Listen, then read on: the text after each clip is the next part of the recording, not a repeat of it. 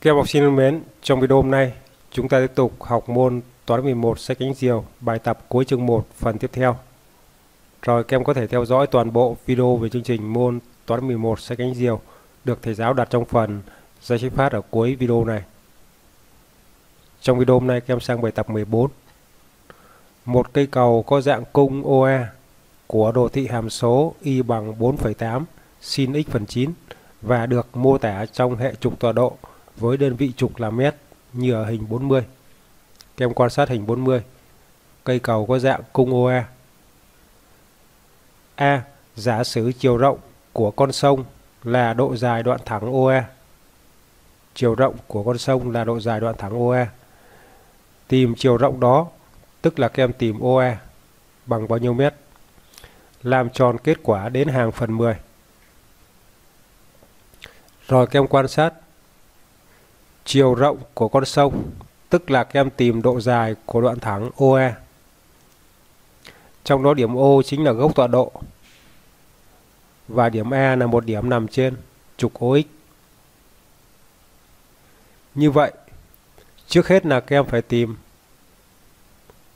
hoành độ của điểm E Hoành độ của điểm O thì nó bằng 0 rồi, đúng không? Vậy các em phải tìm hoành độ của điểm E sau đó các em lấy hoành độ của điểm A trừ đi hoành độ của điểm O thì đó chính là độ dài đoạn thẳng OE tức là chiều rộng của con sông. Ta thấy hoành độ của điểm O và hoành độ của điểm A nó chính là nghiệm của phương trình 4,8 nhân sin x phần 9 bằng 0. Các em có biết tại sao không? Bởi vì đồ thị của hàm số y bằng 4,8 nhân sin x phần 9. Nó cắt trục hoành tại hai điểm O và A. Vậy muốn tìm hoành độ của hai điểm O và A thì các em phải giải phương trình 4,8 sin x phần 9 bằng 0. Được chưa? Hai điểm O và A có hoành độ thuộc tập nghiệm của phương trình 4,8 sin x phần 9 bằng 0. Tức là phương trình này nó có rất nhiều nghiệm. Trong đó hai điểm O và A nó có hoành độ thuộc cái tập nghiệm của phương trình này. Rồi bây giờ các em sẽ giải phương trình này. 4,8 nhân sin x phần 9 bằng 0 thì sẽ tương đương với sin x phần 9 bằng 0. Sin bằng 0 là một phương trình đặc biệt. Sin x bằng 0 ta suy ra x bằng kp, trong đó k thuộc z. Tức là ta suy ra x phần 9 bằng kp. Vậy x bằng 9 kp. x bằng 9 kp. Trong đó k thuộc z. Rồi, vì O và A là hai điểm liên tiếp nhau. Có đúng là O và A là hai điểm liên tiếp nhau, đúng không? Và O là gốc tọa độ. Cho nên O là gốc tọa độ thì x của điểm O bằng 0. x của điểm O bằng 0. Các em cho 9 kp bằng 0 để các em tìm xem là k tương ứng với bao nhiêu. XO này bằng 0 này. O là gốc tọa độ, cho nên XO bằng 0. Tương đương với ta cho 9 kp bằng 0 để ta tìm k tương ứng. 9 kp bằng 0 vậy suy ra k bằng 0. Tức là, hoành độ của điểm O nó ứng với k bằng 0. Mà vì O và A là hai điểm liên tiếp nhau, cho nên hoành độ của điểm A sẽ ứng với k bằng 1. Được chưa? Hoành độ của điểm O ứng với k bằng 0 thì hoành độ của điểm A ứng với k bằng 1. Các em thay k bằng 1 vào đây để ta tìm XA.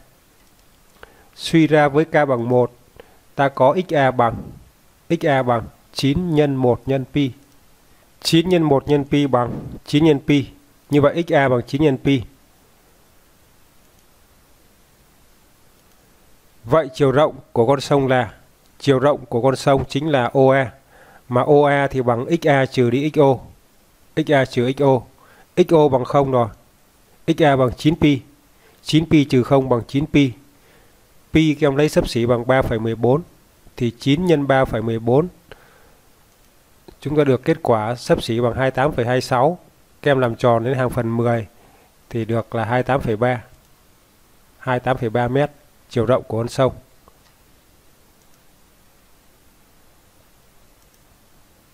B. Một xà lan chở khối hàng hóa được xếp thành hình hộp chữ nhật với độ cao 3,6 mét so với mực nước sông, sao cho xà lan có thể đi qua được gầm cầu. Chứng minh rằng chiều rộng của khối hàng hóa đó phải nhỏ hơn 13,1 mét. Rồi chúng ta chứng minh như thế nào? Các em hình dung như sau. Xà lan chở khối hàng hóa được xếp thành hình hộp chữ nhật với độ cao là 3,6 mét. Như vậy trước hết là các em vẽ đường y bằng 3,6. Đây là đường y bằng 3,6 này. Nó sẽ cắt đồ thị của hàm số tại hai điểm. Hai điểm này các em đặt tên là là hai điểm B và C. Được chưa? Các em đặt tên hai điểm này là hai điểm B và C. Rồi như vậy, để xà lan chở khối hàng hóa cao 3,6 mét có thể đi qua được gầm cầu thì chiều rộng của khối hàng hóa phải nhỏ hơn BC. Nhỏ hơn BC. Nếu bằng BC thì hai cái đỉnh này nó chạm nó chạm gầm cầu này. Bắt buộc là à bắt buộc là chiều rộng của khối hàng hóa này phải nhỏ hơn BC. Được chưa? Phải nhỏ hơn BC thì nó mới chui lọt được qua gầm cầu. Vậy trước hết là các em phải tìm độ dài đoạn thẳng BC. Độ dài đoạn thẳng BC thì bằng à bằng xc trừ đi xb bằng xc trừ đi xb. Vậy trước hết là các em phải tìm xc và xb. Gọi b và c là hai giao điểm của đường thẳng y bằng 3,6 và đồ thị hàm số y bằng 4,8 sin x phần 9 như hình bên. Bây giờ các em sẽ giải phương trình 4,8 sin x phần 9 bằng 3,6 để tìm ra xb và xc bằng bao nhiêu. Rồi từ đây các em suy ra sin của x phần 9 bằng 3,6 chia 4,8 bằng 0,75. Bây giờ các em sẽ bấm xem là sin của bao nhiêu bằng 0,75. Rồi để sử dụng máy tính thì trước hết là các em phải reset lại máy tính bằng cách là bấm phím Shift 9, 9 là reset. Bấm phím 3 khởi tạo lại tất cả. Bấm phím bằng đồng ý. Bấm một phím bất kỳ. Rồi các em bấm tiếp phím bằng. Thì lúc này máy tính đã được reset.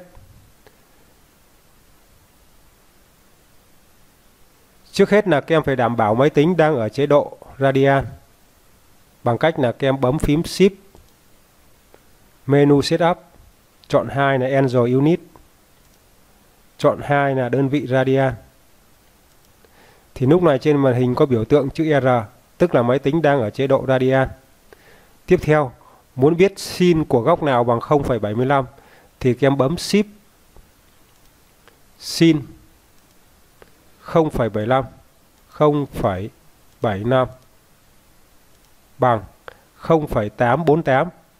Như vậy sin của 0,848 bằng 0,75. Có nghĩa là các em thay số 0,75 này bằng sin của 0,848. Rồi, như vậy ta có phương trình tương đương sin x phần 9. Các em thay 0,75 sấp xỉ bằng sin của 0,848. Rồi, lúc này phương trình có dạng sin của x bằng sin alpha sin của x bằng sin alpha. Vậy x bằng alpha cộng k2pi hoặc là x bằng pi trừ alpha cộng k2pi trong đó k thuộc z. Phương trình tương đương với x ở đây chính là x phần 9. x phần 9 bằng alpha cộng k2pi. Alpha là 0,848 này cộng k2pi này. Và x phần 9 bằng pi trừ alpha pi trừ alpha cộng k2 pi. Được chưa? Rồi. Bây giờ để tìm x, kem nhân cả hai vế với 9. ta có x bằng 0,848 nhân 9 bằng 7,632 cộng với K2pi nhân 9 bằng 18 kpi. Chỗ này ta có x bằng nhân cả hai vế với 9 ta có 9 pi trừ đi 0,848 nhân 9 bằng 7,632 trừ đi 7,632 cộng với K2pi nhân 9 cộng với 18 kpi. Được chưa? Rồi trong đó K thuộc Z. Rồi bây giờ các em quan sát hình 40. Đây là điểm O, gốc tọa độ. Vậy điểm O nó có hoành độ là 0. Được chưa? Còn điểm A, điểm A có hoành độ là là 9pi. Chúng ta vừa tìm được là x của A bằng 9pi đúng không? Như vậy x của B, x của C nó sẽ thuộc cái khoảng là 0 9pi. Tức là x của B, x của C lớn hơn 0, nhỏ hơn 9pi. Vậy ứng với mỗi trường hợp này, các em cho x lớn hơn 0, nhỏ hơn 9pi để chúng ta tìm xem là k nó thuộc khoảng nào.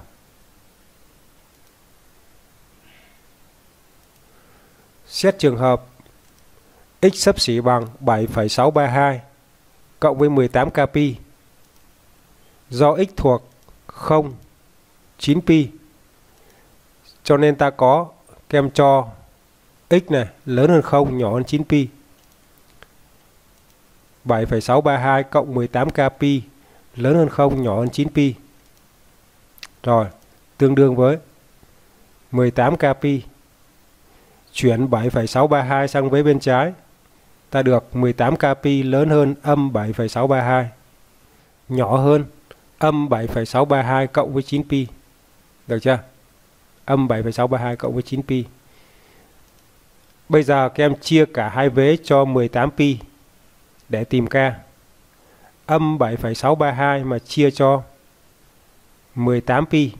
Chia cho 18 pi thì chúng ta tính được sấp xỉ là âm 0,135 rồi âm 7,632 cộng 9 pi sau đó chia cho 18 pi. Chúng ta tính được sấp xỉ là 0,365 mà k nó thuộc z cho nên k chỉ có thể bằng 0 k nó thuộc khoảng này mà k lại thuộc z nên k chỉ có thể bằng 0 được chưa? K bằng 0 k bằng 0 các em thay ngược vào đây. Ta tìm x với k bằng 0 thì x bằng 7,632 Tiếp theo là các em xét trường hợp. Trường hợp x bằng 9pi trừ 7,632 cộng với 18 kpi mà do x thuộc khoảng 0 đến 9pi cho nên các em cho cái phần này lớn hơn 0 nhỏ hơn 9pi tương tự như trên. Lớn hơn 0 này nhỏ hơn 9pi này tương tự như trên các em tìm k rồi bây giờ các em giải để tìm ra k 18K pi lớn hơn À các em chuyển phần này sang vế bên trái. Ta được là 7,632 trừ 9pi. Chuyển phần này sang vế bên phải. Thì ta được 9pi trừ 9pi bằng 0. Vậy kết quả là 7,632. Rồi bây giờ các em chia cả hai vế cho 18pi để tìm k. 7,632 trừ 9pi chia cho 18pi thì nó sắp xỉ là âm 0,635. 7,632 chia cho 18 pi sấp xỉ là 0,135. K nó thuộc khoảng này mà K là số nguyên mà K thuộc Z cho nên suy ra K bằng 0. Rồi với K bằng 0 các em thay vào đây thì ta được x sấp xỉ bằng 9 pi trừ 7,632. Với K bằng 0 thì x sấp xỉ bằng 9 pi trừ 7,632. Các em lấy 9 nhân với 3,14 trừ 7,632 thì chúng ta tính sấp xỉ được khoảng là 20,628. x bằng 20,628. Rồi, vậy xb xb thì nó phải ở trước xc đúng không? xb ở trước xc. Vậy xb phải nhỏ hơn xc. Ta suy ra xb xấp xỉ là 7,632 còn xc bằng 20,628. Được chưa? Bây giờ muốn tính độ dài BC thì các em lấy XC trừ XB. Suy ra độ dài BC bằng XC trừ XB. Lấy số lớn trừ số bé. Và ta tính được kết quả bằng 12,996. BC sấp xỉ bằng 12,996. Như vậy để xà lan có thể đi qua được gầm cầu thì khối hàng hóa có độ cao là 3,6 m, phải có chiều rộng nhỏ hơn độ dài đoạn thẳng BC trên hình vẽ. Rồi các em quan sát này. Xà lan có thể đi qua được gầm cầu thì khối hàng hóa có độ cao là 3,6 m, phải có chiều rộng. Chiều rộng phải nhỏ hơn BC. Được chưa? Chiều rộng phải nhỏ hơn độ dài đoạn thẳng BC. Thì khối hàng hóa này mới chui lọt qua được gầm cầu. Mà BC chúng ta vừa tính được sấp xỉ là 12,996 m. 12,996 nhỏ hơn 13,1. Vậy chiều rộng của khối hàng hóa đó phải nhỏ hơn 13,1 m. Rồi tiếp theo là kem sang câu C. Một xà lan khác cũng chở khối hàng hóa được xếp thành hình hộp chữ nhật với chiều rộng của khối hàng hóa đó là 9 mét sao cho xà lan có thể đi qua được gầm cầu, chứng minh rằng chiều cao của khối hàng hóa đó phải nhỏ hơn 4,3 mét. Rồi các em quan sát.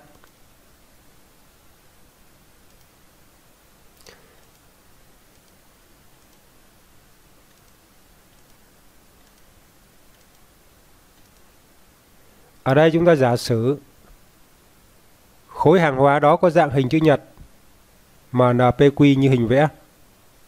Được chưa? Chiều rộng của khối hàng hóa là 9 mét, tức là QP bằng 9. 9 mét. Rồi theo câu E chúng ta tính được chiều rộng của con sông là OE bằng 28,3 mét. Bây giờ muốn xác định được chiều cao của khối hàng hóa thì các em phải xác định được à xác định được tung độ của điểm M. Được chưa? Các em phải xác định được tung độ của điểm M. tung độ của điểm M nó chính là y bằng 4,8 nhân sin x phần 9. Trong đó x chính là hoành độ của điểm M. Vậy muốn tìm tung độ của điểm M, trước hết là các em phải xác định được hoành độ của điểm M. Hoành độ của điểm M nó chính là OQ. Được chưa? Nó chính là OQ. Bây giờ các em tìm OQ. Rồi, xà lan chở khối hàng hóa được mô tả như hình chữ nhật MNPQ trong hình bên. Trước hết là các em tìm OQ này. Các em nhớ là xà lan phải đi qua à đi qua trung tâm của cái cái cầu này. Xà lan đi qua trung tâm của cái cầu này. Có nghĩa là OQ phải bằng bằng PE. OQ phải bằng PE. Được chưa? OQ bằng PE và ta có OQ cộng QP cộng PE. Nó chính là OE. Chính là OE. Do OQ bằng PE, vậy OQ cộng PE nó chính là 2 OQ. Nó chính là 2 OQ. Vậy ta có 2 OQ bằng OE trừ đi QP. OE trừ QP mà OE bằng 28,3 QP bằng 9. Như vậy ta lấy 28,3 trừ 9. 28,3 trừ 9 thì bằng 19,3. Vậy suy ra OQ. OQ bằng 19,3 chia 2. Rồi ta suy ra OQ xấp xỉ là 9,65 mét. OQ sấp xỉ là 9,65 mét. Tức là x của m x của m sấp xỉ là 9,65 suy ra xm sấp xỉ là 9,65. Các em thay vào đây. Các em thay x sấp xỉ là 9,65 vào đây. Thì các em sẽ tìm được y của điểm M. À, để hàng hóa có thể chui lọt qua gầm cầu thì chiều cao của khối hàng hóa phải nhỏ hơn. À, phải nhỏ hơn im. Được chưa? Phải nhỏ hơn im. Im là cái cái điểm mà chúng ta lấy chuẩn thôi. Khối hàng hóa lọt qua được gầm cầu thì chiều cao của khối hàng hóa phải nhỏ hơn IM. Bây giờ các em thay XM bằng 9,65 vào đây để ta tìm IM. Rồi ta suy ra IM bằng 4,8 sin của XM chia 9. Sấp xỉ là 4,8 sin của 9,65 phần 9. Rồi bây giờ các em bấm xem là sin của 9,65 phần 9 là bao nhiêu. Rồi bây giờ các em bấm sin của 9,65 phần 9 là bao nhiêu. Trước hết là cái bấm sin 9,65 9,65 phần 9 tức là chia 9 bằng 0,878. Các em nhân tiếp với 4,8 nhân với 4,8 thì nó xấp xỉ là 4,215. 4,215 các em lấy xấp xỉ là 4,22. Rồi chúng ta tính được xấp xỉ là 4,22. 4,22 thì nó nhỏ hơn 4,3. Được chưa? Vậy để xà lan có thể đi qua được gầm cầu thì chiều cao của khối hàng hóa đó phải nhỏ hơn 4,3 mét. Rồi, như vậy là bài học hôm nay đây là kết thúc. Xin chào và hẹn gặp lại các em trong các video tiếp theo. Chúc các em học tốt.